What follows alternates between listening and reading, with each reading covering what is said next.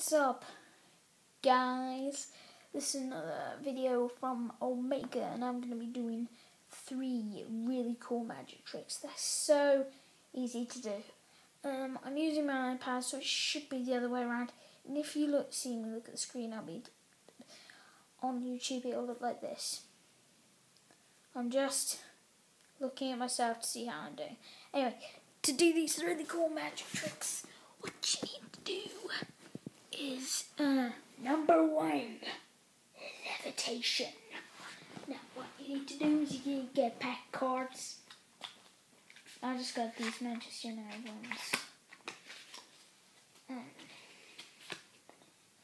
and what you need to do is first, it's just a normal, you show them, it's a normal deck of cards.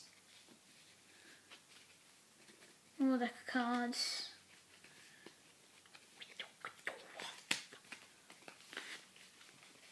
and that they're all perfectly fine. Then what you do is just shake, you just rub your finger, say, you put it at the top. This is how it works, alright? Rub, top,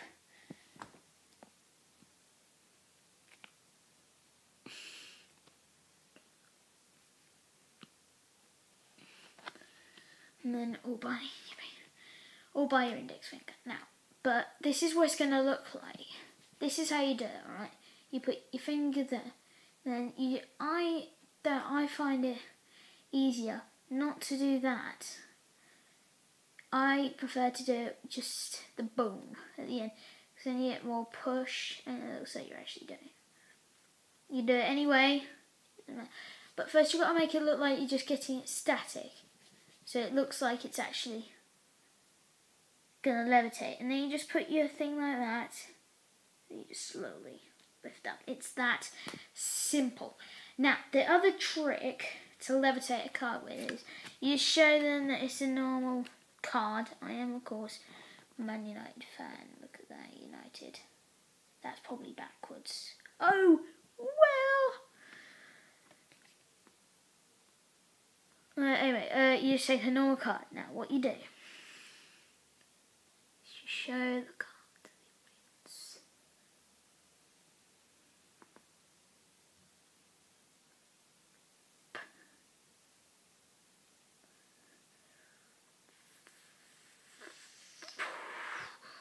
But not holding on to the card. But as I did that, you're able to probably see uh, not onto the card. You're just able to update it. It's that simple. Um, the next trick will probably be, um, oh yeah, the disappearing matchstick or cocktail stick. It doesn't really matter what type of stick you have. If it's a stick, it blinking works now. We need to have is a matchstick, and you don't really need the glove. Uh, I just do this because it's easier to use now. You hold the matchstick like that. Right. One, two.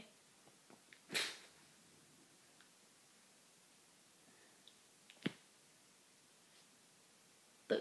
It's that easy to do. But, of course, this is quite hard. This is one of the weirdest ways you probably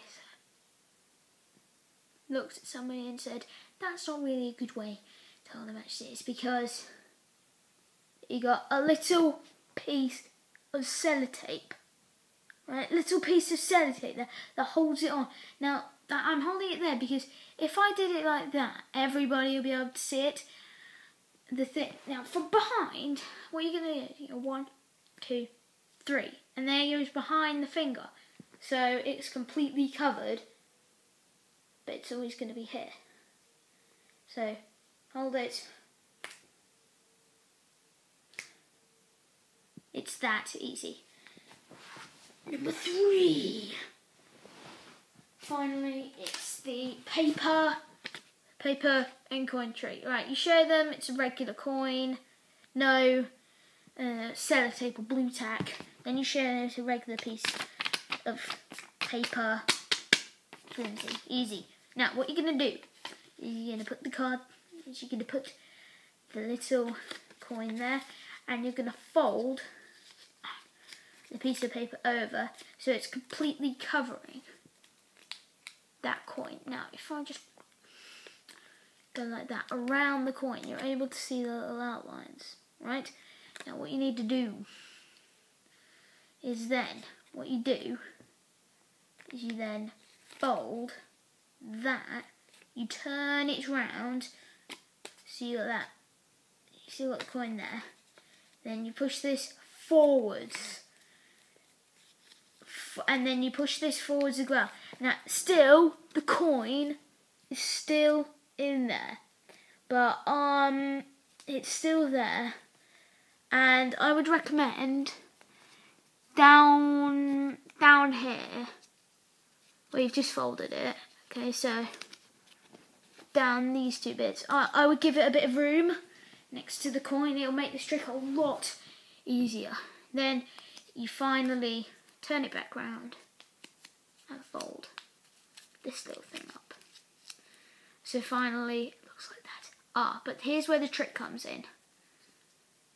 There, from your first fold, still got that little coin that can just perfectly fit